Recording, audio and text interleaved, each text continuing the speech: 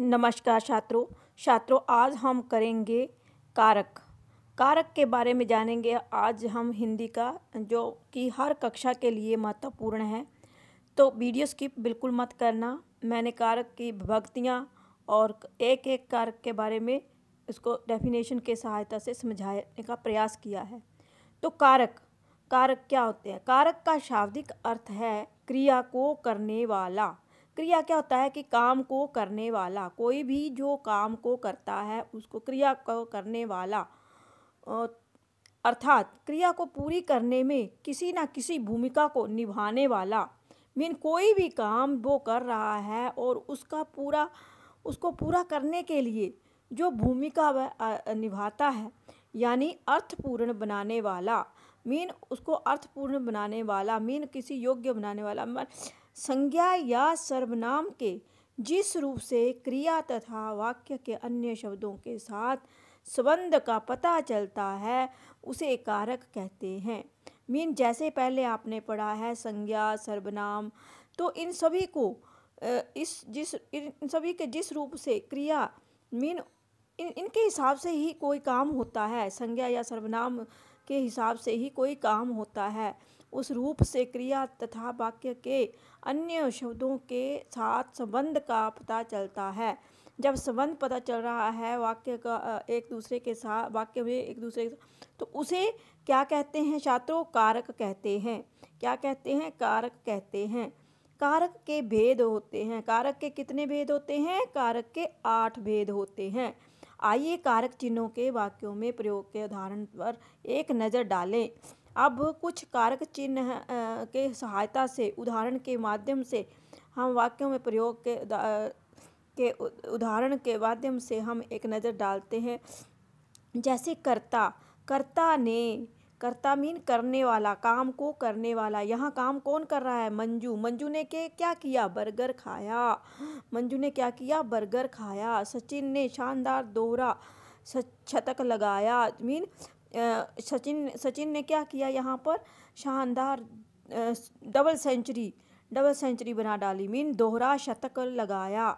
ये करता है, करता मीन काम करने वाला। यहाँ पर मंजू और सचिन जो हैं, दोनों वाक्यों में काम करने वाले हैं। और यहाँ पर का, ने ने लगाकर कारक चिन्ह का प्रयोग किया गया है कि किसने किया वो काम? किसके द्वारा हुआ ये काम? तो मंजू और सचिन ने शानदार काम किया है। मीन मंजू ने बर्गर खाया और सचिन ने शानदार दोहरा, डबल सेंचुरी लगाया दोहरा शतक लगाया। अब कर्म की बारी आई। कर्म को को विभक्ति चिन्ह है। यहाँ पर कर्म का क्या विभक्ति चिन्ह है? को। यहाँ पर आपको देख लेना है कि को लगा है, वहाँ पर कर्म कारक कहलाएगा। सक्षम ने आयुष को पुस्तक दी। मीन सक्षम ने आयुष को पुस्तक दी? क्या दी पुस्तक दी? किसको दी? आयुष को। क्या दिया पुस्तक दी? सक्षम ने आयुष को पुस्तक दी। अब यहाँ को कारक का विभक्ति का प्रयोग हुआ है तो यहाँ पर कर्म कर्ता के द्वारा कर्म किया गया। मीन सक्षम करता है और कर्म जो है, वह है आयुष। सक्षम ने क्या किया कि आयुष को पुस्तक दी। राम ने क्या किया? रावण को मारा। राम ने क्या कर दिया? रावण को मारा। रावण को किसने मारा? राम ने मारा। तो यहाँ पर ने को विभक्ति का चिन्ह हुआ है मारने के लिए को रावण द्वारा मारा गया। मीन राम द्वारा रावण मारा गया, है ना? करण। करण के विभक्ति चिन्ह है से और के के द्वारा। इनमें से कोई भी एक शब्द आपको मिल जाएगा। माँ चाकू से फल काटती है। माँ किससे फल काटती है? चाकू से से विभक्ति चिन्ह का प्रयोग हो तो कर्ण कारक। माँ चाकू से फल काटती है। चाकू मीन नाइफ और फल मीन फ्रूट्स उनको क्या करती है? कट करती है। ठीक है? तो किसके द्वारा कट हुआ? चाकू के द्वारा। किसने किया? माँ ने। माँ जो है, वह संज्ञा शब्द है और चाकू जो है, वो कारक चाकू से मीन क्रिया करने वाला है। उसके द्वारा जो क्रिया हुई, क्या क्रिया हुई? फल काटने की। तो यहाँ पर चाकू से करण कारक आशा करती हूँ कि आपको अच्छे से समझ में आ रहा होगा। संप्रदान कारक कोल के लिए इसमें से कोई विभक्ति चिन्ह प्रयोग हुआ होगा, जिसमें संप्रदान, कर्ता ने, आपको ऐसे याद कर लेने हैं, कर्ता ने कर्म को करण से के द्वारा संप्रदान को के लिए अपादान से या में पर ऐसे आपको याद कर लेना रट लेने हैं आठ कारक होते हैं। तो मैं आपके लिए चाय बना रही हूँ। मैं आपके लिए क्या बना रही हूँ? चाय बना रही हूँ। यहाँ पर के, के लिए आपके लिए किसके लिए? दूसरे आदमी के लिए। मैं मीन संज्ञा दूसरा आदमी कौन है? द्वितीय आपके लिए आपके लिए मीन अन्य पुरुष। चाय बना रही हूँ। क्या कर रही हूँ? चाय बना रही हूँ। के के लिए का प्रयोग हुआ है। इसमें यहाँ पर आपके लिए प्रयोग, के लिए का प्रयोग हुआ है। वहाँ पर संप्रदान कारक फिर अपादान कारक यहाँ पर क्या है? अपादान कारक अपादान कारक के बारे में जान लेते हैं। अब ये संप्रदान था। अब अपादान के बारे पेड़ से पत्ते गिर रहे हैं। अब पेड़ से एक बार पत्ता गिर गया ना, इसमें कन्फ्यूज़न नहीं होना है।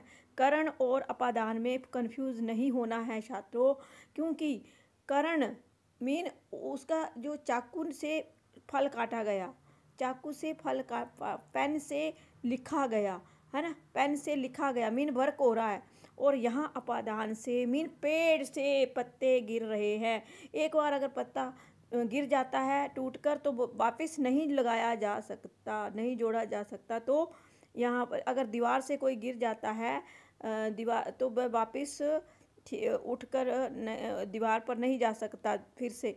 तो वहाँ पर गिरने का गिरने का मीन उससे अलग, अलगाव पैदा हो रहा है। अलगाव मीन अलग हो रही है वस्तु। उससे अलग हो रही है। तो अलग जब होता है कोई आदमी तो वहाँ पर अपादान कारक किसी चीज़ से किसी कोई चीज़ अलग हो रही है तो वहाँ पर अपादान कारक कौन सा कारक? अपादान कारक अब कर्म कारक, कर्म को, कर्म, ये दूसरी बार रिपीट हो गया। एक दो सैंपल हैं। ये दूसरी बार रिपीट हो रहा है। इसको कट कर देती हूँ। चलो रहने दो। ये कर्म को पहले समझा दिया मैंने। तो तुषार ने एक अगर एग्ज़ाम्पल समझ लो, यहाँ पर कर्म का। तुषार ने आयुष को पुस्तक दी। श्री कृष्ण ने कंस को मारा। तो किसने मारा? कंस को मारा। किसने मारा? श्री कृष्ण ने मारा। तो कर्म कारक, है ना? तो संप्रदान कारक। पहले क्या किया हमने? अपादान कारक। अपादान में अलगाव पैदा हो गया। संप्रदान में को के लिए, संप्रदान में कौन से विभक्ति चिन्ह है? को के लिए, मैं आपके लिए चाय बना रही हूँ। रिपीट हो रहा है। अधिकरण कारक। अधिकरण कारक मछली पानी में रहती है। अधिकरण में पर, है ना? अधिकरण मछली पानी में रहती है। इसमें स्वंद का के की रारेरी। यह माधव का घर है। राजू ने राजू के पिता लेखक हैं। तो मछली कहाँ रह रही है? पानी में रह रही है। तो मे पर इसका में पानी में, पानी के अंदर, है ना? तो यहाँ अधिकरण कारक कहलाएगा। अब हम संबोधन के बारे में जान लेते हैं। हे अरे, ओ, हे राम, ये क्या हुआ? हे राम हाय, अरे, जहाँ भी प्रयोग हो, वहाँ पर क्या होता है संबोधन का? संबोधन किया जाता है, संबोधन करना को कारक कहते हैं। तो राम ने क्या क्या क्या, राम ये क्या हुआ? हाय राम, क्या हुआ? ऐसे बोलते हैं ना, सरप्राइज़। अरे तुम कब कब आए? अरे तुम कब आए? संबोधन हो रहा है ना? अब इनको एक एक कारक का, कारक चिन्ह और प्रसरक के बारे में जान लेते हैं। वीडियो थोड़ा लंबा हो जाएगा, फिर भी आपको नॉलेज बहुत हो जाएगी, क्योंकि रिपीट हो रहा है। रिपीट होने से आपको और ज़्यादा समझ में आ जाएगा। पहले छोटे रूप में समझाया, अब कारक कारक चिन्ह परसरक के रूप में समझाती हूँ। एक एक करके। कर्ता कारक। कर्ता कारक छात्रों, कर्ता का अर्थ होता है करने वाला। जैसे मैंने तो आपको उसमें सारा समझा दिया है। अब मैं आपको ये पढ़कर बता देती हूँ। कर्ता का अर्थ होता है करने वाला। जैसे राजू ने स्वर्ण पदक जीतकर विद्यालय का सम्मान बढ़ाया। उपर्युक्त वाक्यों में सम्मान बढ़ाने वाला कौन है? राजू है। अतः वही, कर्ता वही है और इसका ज्ञान करा रहा है। ने परसर्ग। कौन सा ज्ञान किस, ने प्रसर्ग जो है, वह ज्ञान करवा रहा है। शब्द के जिस रूप से क्रिया के करने वाले का बोध हो, उसे कर्ता कारक कहते हैं। ये मैं पहले भी बता चुकी हूँ कि शब्द के जिस रूप से क्रिया के करने के मीन काम के करने का बोध हो, उसे कर्ता कारक कहते हैं। जैसे माँ ने खाना बनाया, किसने बनाया? माँ ने खाना बनाया। अब कर्म कारक के बारे में जान लेते हैं।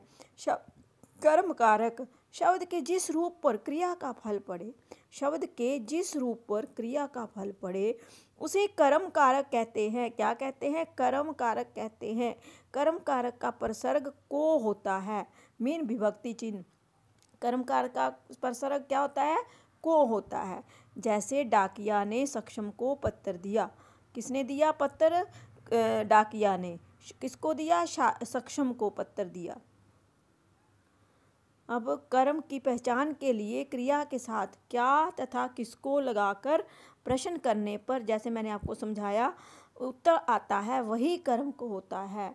क्या और किसको? क्या दिया, किसको दिया?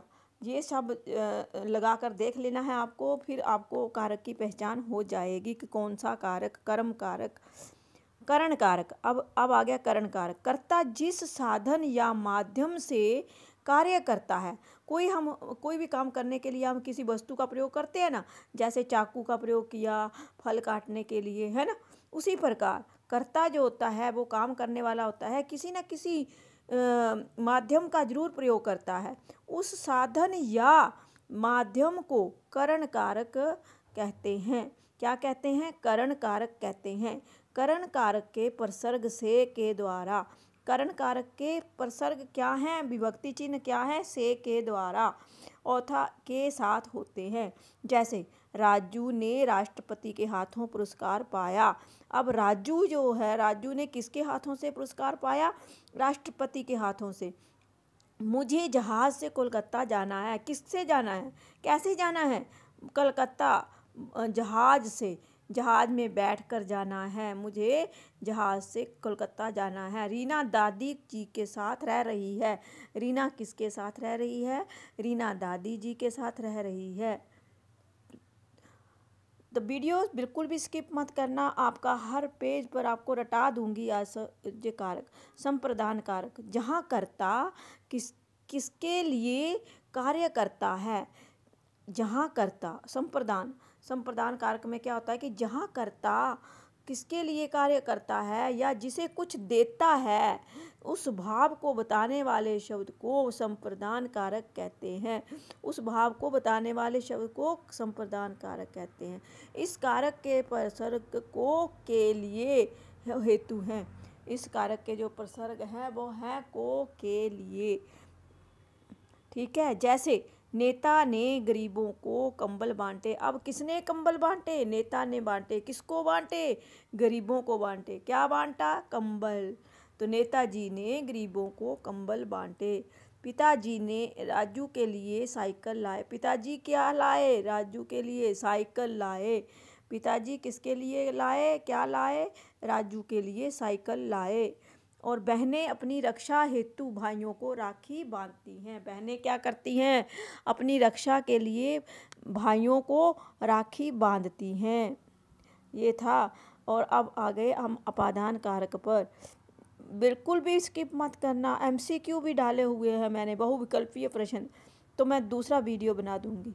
तो दोनों वीडियो आप ज़रूर देख लेना।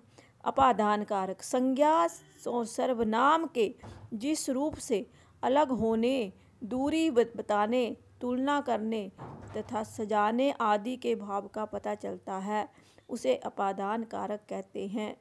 उसके उसे सजाने, उसे अपादान कारक कहते हैं। अपादान कारक का प्रसर्ग से होता है।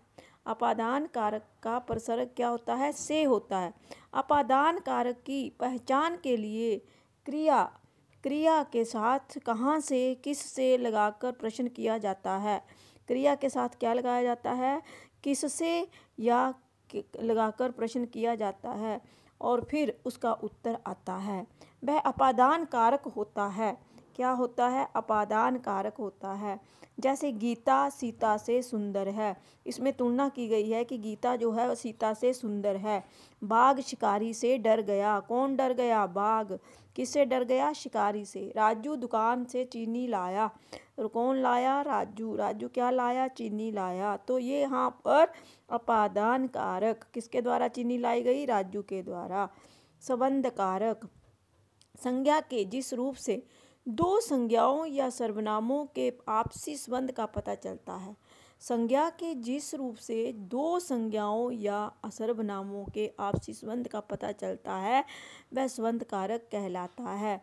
संबंध कारक की पहचान के लिए या सर्वनाम के साथ किसका, किसकी, किसके, किसने आदि शब्दों को लगाकर प्रश्न करके उसके उत्तर प्राप्त किए जाते हैं। क्या क्या प्रयोग किया जाता है, किसका, किसकी, किसके, किसने आदि शब्दों को लगाकर प्रश्न करके उसके उत्तर प्राप्त किए जाते हैं। वे ही उत्तर संबंध कारक कहलाते हैं। संबंध कारक के परसर्ग का का के की, रा, रे, री, ना, ने, नी आदि होते हैं। यह वस्ता चीनू का है। ये वस्ता मीन बैग। चीनू का है। किसका है? चीनू का है। कल नेहा की शादी है। अंशु दादी जी के लिए के साथ कहाँ गई? स्कूल गई। अंशु दादी के साथ स्कूल गई। अधिकरण कारक।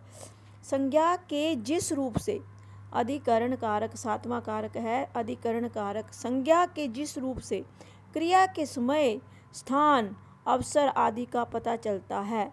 मीन क्रिया किस समय हो रही है और कहाँ हो रही है, उससे के समय का पता चलता है। उसे अधिकरण कारक कहते हैं। अधिकरण कारक के प्रसर्ग में तथा पर होते हैं। अधिकरण कारक की पहचान के लिए वाक्यों में क्रिया के साथ कहाँ लगाकर, क्रिया के साथ क्या लगाना है? कहाँ लगाकर प्रश्न तथा उत्तर प्राप्त करने के लिए किया जाता है। जैसे, पेड़ पर चिड़िया बैठी है, मेज पर अंशु की किताब रखी है, थैले में फल हैं। इन सबसे क्या पता चलता है? अप अधिकरण कारक। मीन, पेड़ पर कौन बैठा है? चिड़िया बैठी है। मेज पर क्या रखा है? अंशु की किताब। थैले में क्या है? फल। संबोधन कारक। आठवां कारक है संबोधन। जिन संज्ञा शब्दों का प्रयोग किसी को बुलाने या पुकारने या संबोधित करने के लिए किया जाता है वे संबोधन कारक कहलाते हैं। संबोधन कारक में प्रसर्ग हर अरे, हे, ओ आदि होते हैं। जैसे, अरे मोहन, यहाँ आना। हे वीरो, मातृभूमि की रक्षा करो। तो ये थे हमारे आठ कारक। तो इनमें से कुछ एमसीक्यू हैं वो नेक्स्ट नेक्स्ट वीडियो में।